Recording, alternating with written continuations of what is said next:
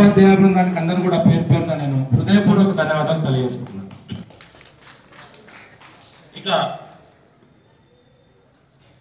Yadav sir మాట్లాడుతుంటేనే నేను విన్నా. గణతంత్ర రాజ్యం ప్రపంచ దేశాల్లోనే అత్యున్నతమైనటువంటి రాజ్యాంగ వ్యవస్థను ఏర్పాటు చేసుకున్నటువంటి దేశాల్లో నాకు తెలిసి ప్రప్రథమైనటువంటి దేశం భారతదేశం. సర్వసత్తాక అన్ని రకాల హంగులతో కూడుకున్నటువంటి దేశం ఏదైతే ఉంది ప్రపంచంలో అంటే అత్యున్నత స్థానంలో భారతదేశం. రాజ్యాంగం ఇంతకుముందు ప్రిన్సిపల్ గారు చెప్పినట్టు స్వాతంత్రం వచ్చిన తర్వాత మన నడవడిక ఏ రకంగా ఉండాలి? వ్యక్తిగతంగా? మనం జీవించడం వేరు. అదేవిధంగా మన సమాజంలో ఉన్నటువంటి తోటి మనుషులతో ఏ విధంగా జీవించాలి? రాజ్యాంగంలో ఏముంది? మనకు సంబంధించిన హక్కులు ఉన్నాయి. మనకు సంబంధించిన ఆశయాలు ఉన్నాయి. మనకు సంబంధించిన ఉద్దేశాలు ఉన్నాయి. మనకు సంబంధించిన సెట్ ఆఫ్ రూల్సే వేరే లేవు రాజ్యాంగం అంటే ఒక గ్రంథమో పురాణమో కాదు.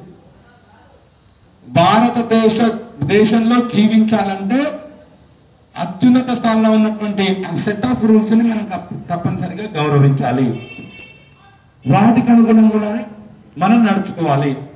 మన నడవడికను రాజ్యాంగ ప్రకారమే మన భారతదేశంలో జీవనం కొనసాగించాలి. అయితే ఒక్కసారి ఆలోచన చేయండి.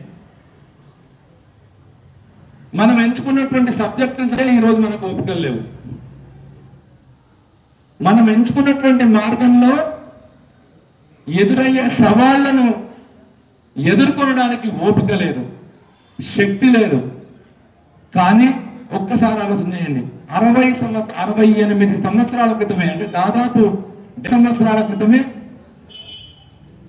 ఎంత నిష్ట ఎంత నిబ్బరం ఎంత ధైర్యం రాబోయే వందల సంవత్సరాలకి కావాల్సినటువంటి సెట్ ఆఫ్ రూల్స్ని నడవడికని వ్యక్తిత్వాన్ని హక్కులను కల్పించడానికి చేసినటువంటి ప్రయత్నం చాలా గొప్ప విషయం.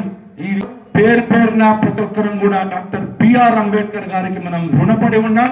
ఈ రోజు ఆయనకి తలవంచి నమస్కారం చేయాల్సినటువంటి అవసరం ఎంతైనా ఉంది. ఆయన తీసుకున్నటువంటి నిర్ణయాలు మంచి మంచి మేధావులను కూడా అప్పుడు వ్యతిరేకించిన తర్వాత ఈ రోజు అవి రుజువు అవుతున్నాయి. ఎస్ ఈ నిర్ణయాలు కరెక్ట్ నిర్ణయాలు. ఎంత దూరదృష్టి ఎంత స్థిరదృపి ఎటువంటి మేధోతనం ఉంటే ఈ రోజుకు కావాల్సినటువంటి లేదా ఇక్కడ నుంచి వంద సంవత్సరాలకు కావాల్సినటువంటి రాజ్యాంగాన్ని రచించడంలో ఆయన నిష్ట లేకపోతే ఆయన దూరదృష్టి మనకి ఈరోజు కనిపిస్తుంది. పట్టుదల జీవితంలో పుట్టిన దగ్గర నుంచి ఎదగడానికి పెరగడానికి సమాజంలో కలిసిపోవడానికి సమాజాన్ని జీవితంలో కలుపుకోవడానికి ఆయన చేసినటువంటి ప్రయత్నాలు ఇన్ని అన్ని కావు చాలా ప్రయత్నాలు ఉన్నాయి ఎవరి గురించి మాట్లాడుతున్నాను నేను? ఎవరి గురించి? డాక్టర్ బిఆర్ అంబేద్కర్ గారు. అది రాజ్యాంగంలో మన జీవిత సత్యం. ఆయన రచించిన రాజ్యాంగం మన జీవిత సత్యం. ఈ రోజు మనం పీలుస్తున్నటువంటి గాలి నిజంగా చెప్పాలంటే ఆయన పెట్టినటువంటి భిక్ష. ఈ రోజు మనం అడవడిక నడవడిక ఉందో లేదంటే సమాజంలో మనం జీవించగలుగుతున్నామో స్వేచ్ఛగా మాట్లాడగలుగుతున్నామో ఈ రోజు డాక్టర్ బిఆర్ అంబేద్కర్ గారు దురదృష్టితో ఆలోచన చేసిన చేసి పెట్టినటువంటి భిక్ష. కానీ ఒక్కసారి ఆలోచన చేయండి.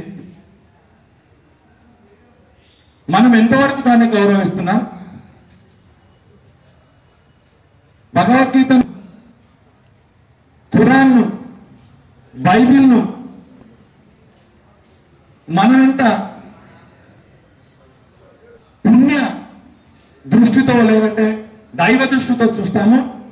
రాజ్యాంగాన్ని కూడా నాకు తెలిసి ఒక భారతీయుడిగా భారతదేశంలో నివసించే బాధ్యత గల పౌరుడిగా అంతకన్నా ఎక్కువ దృష్టితో చూడాల్సిన అవసరం ఉంది.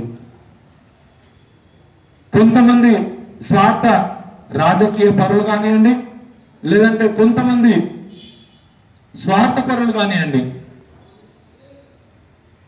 రాజ్యాంగానికి తూట్లు పొడుస్తూ చేసినటువంటి కొన్ని అధికారులు ఈరోజు మనల్ని వెక్కిరిస్తున్నాయి.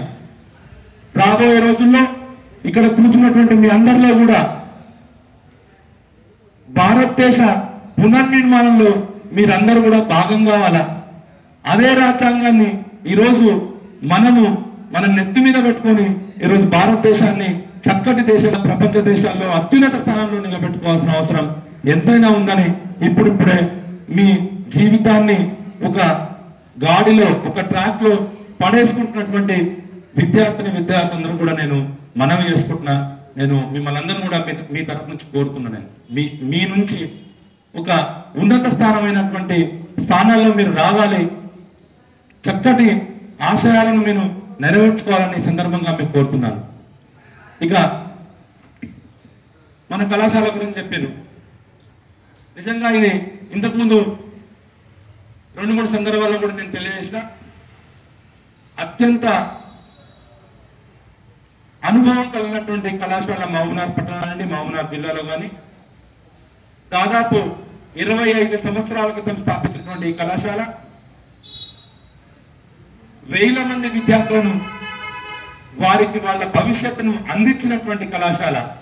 నిజంగానే ఈ కళాశాలలో చదువుకున్నటువంటి విద్యార్థులందరూ కూడా చాలా ఉన్నతమైనటువంటి స్థానాల్లో ఈరోజు ఉన్నారు.